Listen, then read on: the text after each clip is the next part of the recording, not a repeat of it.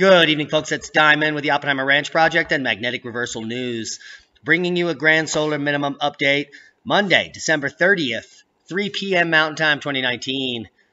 As the blizzard moves east, Krakatoa explodes. Keep calm. It's boom time.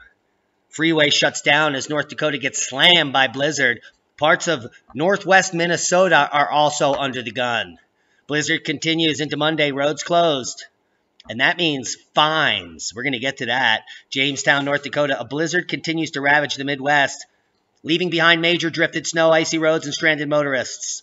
The week long storm has dropped major snow, including 14.5 inches in Ashley, 14 inches in Ellendale, and Jamestown, and 12 inches in Montpelier. And it's not done yet. Blizzard warnings still in effect. We'll get to that in a minute.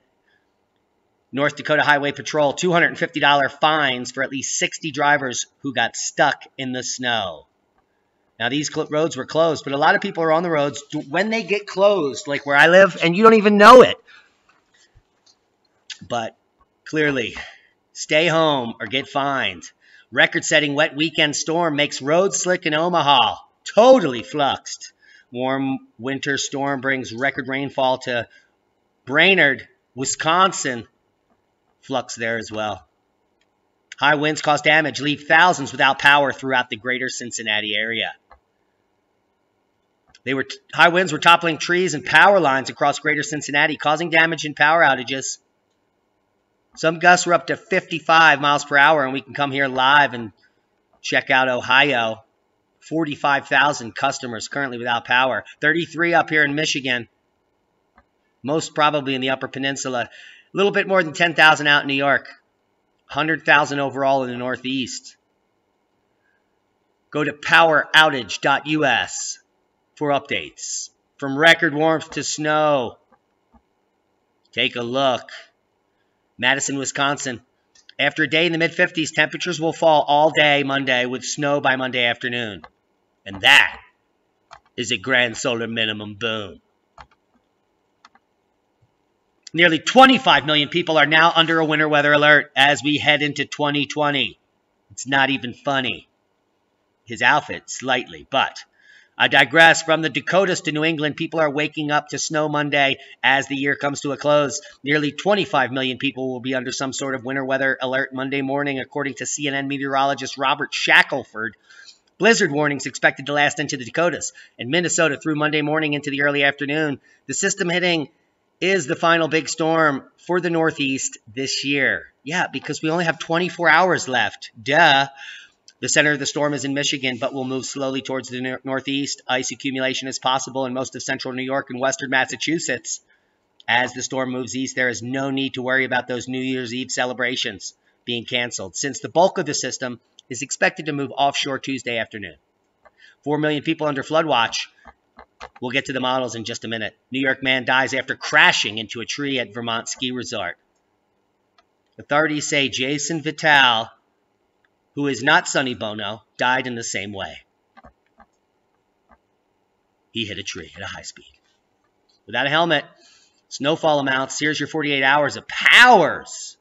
Take a look at North Dakota, the big winner, 18 inches in some regions, the big red. South Dakota also picking up 18. These totals are going to look at this here 36 inches, bottom left corner.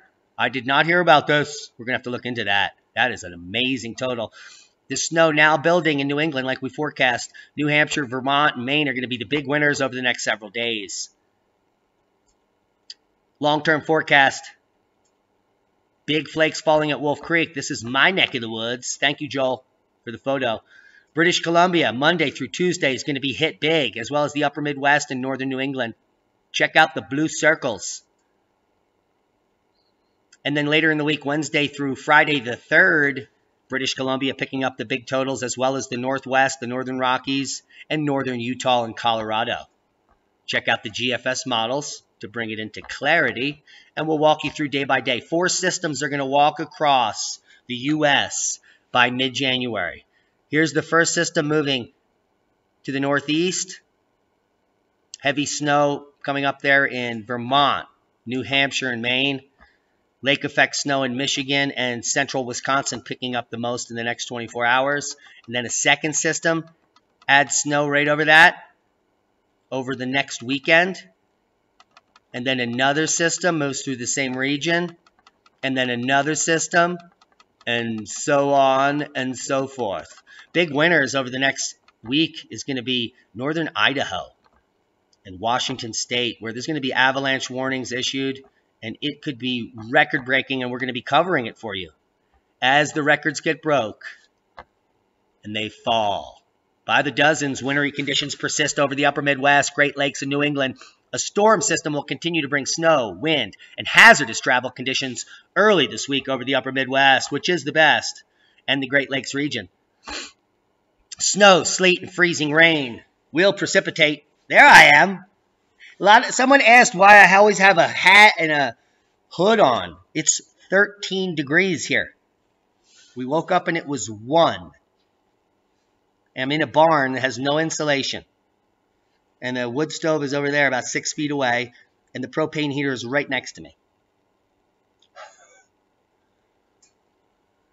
Where was I? Snow, sleet, and freezing rain will impact much of New England into Tuesday. Some icing may be locally significant and lead to power outages and dangerous travel. Remember, poweroutage.us to check your local region and weather.gov for watches and warnings in your area. There's five counties in North Dakota still under blizzard warning and hundreds of uh, winter warnings and watches, as well as icing warnings here in southern New England, Boston, and surrounding areas. So click on your county for details if you're worried about what's going down out your window. Get out now. More than 30,000 people forced to evacuate East Gippsland due to extreme fire danger in Australia. These evacuations coming yesterday. Authorities of the Australian state of Victoria have ordered more than 30,000 residents and tourists in East Gippsland to leave the region immediately as bushfires have reached an extremely dangerous level. Dangerous fire conditions are expected across the state today and tomorrow, Baum said, with very hot temperatures in the forecast, followed by strong and gusty northwesterly winds expected to develop on Monday afternoon. That's today. Severe weather warning has been issued, and we will have live coverage from the ground with Giles from solarminimum.net. Do you hear that, Giles? Cold wave intensifies as dense fog enshrouds North India. Delhi records its coldest day in December since 1901 as the cold weather continues to pummel India. Records deepen. Record cold in Delhi pushes winter peak power demand to all time high 5,298 megawatts, never recorded. And that is a boom. Boom to power. Seismic update.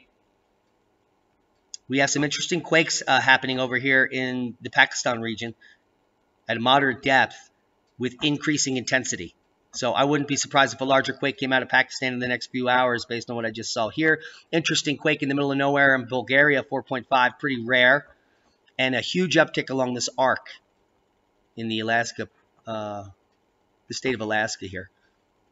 And it's looking like if anything breaks off the map, it won't be California. It may be Alaska. so, heads up, Alaska. Krakatoa, let's get to it. Increasing activity changes to Strombolian and explosive. We kicked off the forecast with this amazing photo just happening hours ago. Activity at the volcano has increased during the past days. Small to moderate explosive activity seems now to have become more frequent, if not continuous. Other volcanoes on the list in the last 24 hours include Fuego, Klyuchkov, Ibu, Dukono, Reventador, Sangay, and Bezymianny. The Kamchatka one's blowing to 20,000, not insignificant. And let's check out the seismics over at Anak Krakatau. You can see a major uptick since December 6th, which would be indicative of magma moving underneath the volcano. This is These are seismics, and this type of uptick is magma coming in. So this baby should be erupting for a while. Here are the details. The activity at the volcano has increased during the past days. Small to moderate explosive activity seems now to have become more frequent, if not continuous.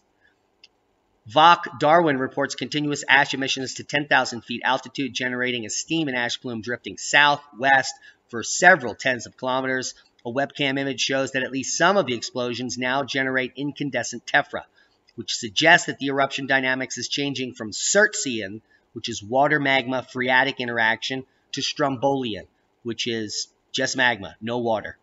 Probably accum uh, as accumulated material from the eruptions has sealed off the vent, which used to be in a lake-filled crater. It also means that increased amounts of fresh magma are likely on the way to surface to the surface now.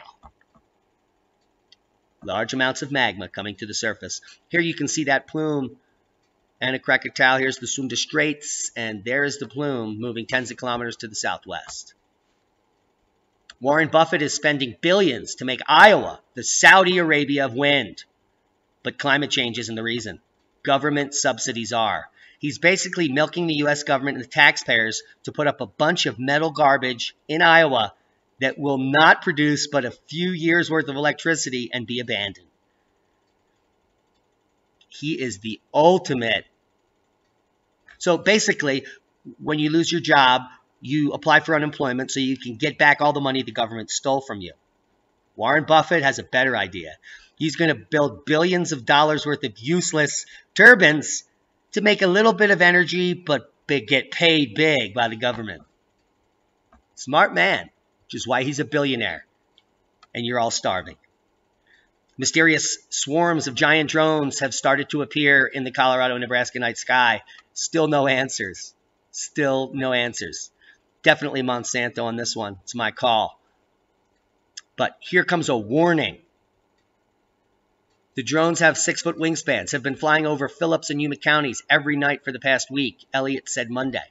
Each night, 17 drones appear at 7 o'clock and disappear at 10 o'clock, staying 2 to 300 feet in the air.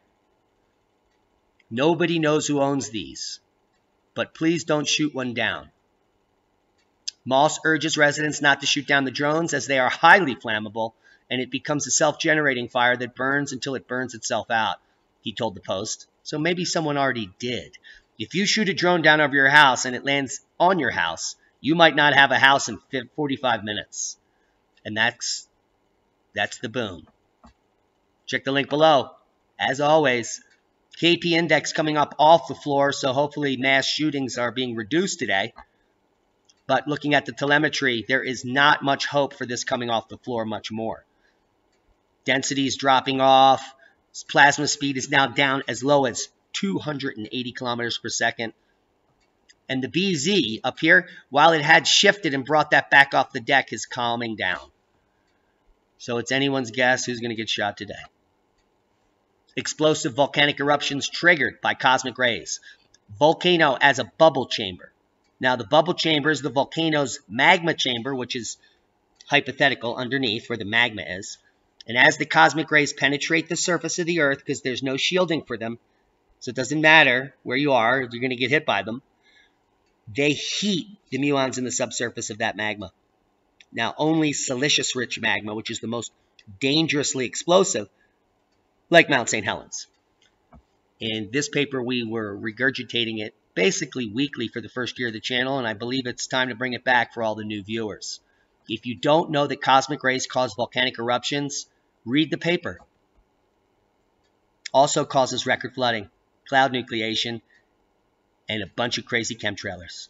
Now let's talk more about geoengineering. All you people that think that the governments use HAARP to control storms and tornadoes, who have been sitting in the basement for decades, here's a paper for you. They went up there and they tried to use the ionosphere. Injection of 40 kilohertz modulated electron beam from a satellite, not from their surface, from a satellite, which can connect with the ionosphere a little bit better excitation of electrostatic and Whistler waves. So they were trying to control the ionosphere, which would lead them to control the weather. And guess what? Not happening. Scientists put human intelligence gene into a monkey. That's happening. And scientists are concerned. Scientists put a gene into the monkey, and scientists are concerned. Doesn't sound like many scientists are concerned especially the ones that put the gene in the monkey. Now, they're using the dumbest monkeys because there's no chance that the monkey could be human-like. That's what they're claiming. They picked the dumbest monkey, not the smartest. We didn't use chimpanzees because they might be humans. So we used rhesus monkeys because they might get pissed and try to eat us all. Totally Planet of the Apes. Totally insane. And it's and it's happening now. I mean, a guy in China edited some babies that are going to die young now, but they won't get HIV. But they won't probably live to the age to even have sex to catch HIV. And this guy's going to jail for three years, which in my opinion is a little light. But the people that are uh, putting human intelligence genes into monkeys, they should get at least some tick there, at least a decade. That's just insane. And then they should have to watch Planet of the Apes on loop for the entire decade as their punishment. Dynamical footprints of the Andromeda Galaxy, uncovered by galactic archaeologists. They're called cosmologists. That's the dumbest term ever. And that just shows that they have no idea what they're talking about, that they need to bring archaeology into the galaxy. Oh my goodness. What I want to draw your attention is this the blue dots and the red dots. These dots represent entire clusters of galaxies. And the central portion here is the Andromeda galaxy. So what you're seeing is Birkeland currents, filaments that come off of the Andromeda galaxy that is that are filled with more galaxies. Like the pearls on a necklace or beads on a string. The Z pinches occur in the Birkeland current, in the string. More evidence of the electric universe and plasma cosmology idea, theory, whatever you want to call it. More evidence coming out two days ago. Magnetic ropes surrounding the whale galaxy, which is 80,000 light years across. Similar to these ropes. Hmm. Electric Universe much? Are they catching on? You can catch up. EU 2020 tickets go on sale New Year's Day. It's going to be in one of the most insane cities ever. Just disgusting, racist, Ugh! If you want to get punched in the face, just hold the sign in Portland. Trust me. EU 2020 vision. I'll be there. Will you? NASA is currently tracking five asteroids that are heading towards Earth today, and none of them will hit us. But if you want to know about all the rocks that are flying by that will eventually hit us, you can come read the article. Five of them on flyby busted Snopes. 100% fake, man. Factcheck.org. I got this meme and I shared it. Because I know how to research, man. I got the meme and I read it and then said it. And so I shared it. Did you know that factcheck.org uh, checked on Snopes uh, and they're liberal and George Soros is their only funder and they don't have any employees? Said every right wing idiot on the internet in the last 24 hours? Yeah, most of you are Trump lovers who don't have a second to research a thing. Now, was Snopes.com busted? And what are the ties? Guess what? Very little of almost none of that meme is true. And all I did was go to factcheck.org, which they're claiming debunks Snopes, to check it out. And according to factcheck.org, and this is almost two years ago where this came out. This is how old the meme is. And how, I hate to say it, stupid the people that share the meme are. I know a lot of you listening shared this meme. And I'm sorry, but it's true. It took me one second to find out the facts, and I went to the source, factcheck.org. And let me give you the, the short of it. The meme says that Snopes was busted it's 100% fake fact checking site. And while I agree that not all of the fact checking done at Snopes is correct, 90% is pretty good. And that it features photos of the Snopes CEO. Now, here's the funny thing. Where is the meme? This guy and this guy are two completely different nationalities. They're not even the same from the same country you can see it's obviously not the same guy. And guess what? Neither of these guys even work for Snopes. That's how bad the meme is. The first guy is Gordon Bajnai, an economist and former prime minister of Hungary. And the other photo shows Andrew Barron, the son of a late trial lawyer and Democratic fundraiser. So the, none of these guys even work for Snopes. Check your facts. Factcheck.org. The people who put the meme up didn't even spend one second to check it. It shows you something about what's happening. You can't believe a thing until you check it yourself. Check yourself before you wreck yourself. And the fact that it also meme also says there's no employees there. If you do a business search, Snopes has a dozen employees listed, 10 editors, on and on. Totally fake. This is fake news right here. Everything 100% BS. Now, this is not BS. Fossilized cannabis reveals the plant is almost 30 million years old. Well, thank God it was here before we got here. That's all I can say. And I got tons of seeds. Hope you got something out of the video. Check your facts before you wreck yourself. And that's boom. We love you, each and every one of you. Coming into the new year, think about how you can change yourself to change the planet for the better. It's that simple. Be safe.